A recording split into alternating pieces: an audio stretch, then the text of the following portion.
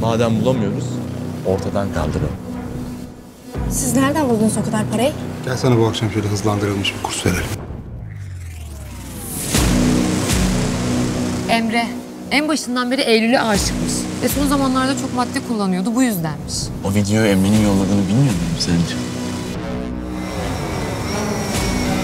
E ne yapayım kızım eğlence olsun bana eğlence. Bunu ve sakın çıkarma.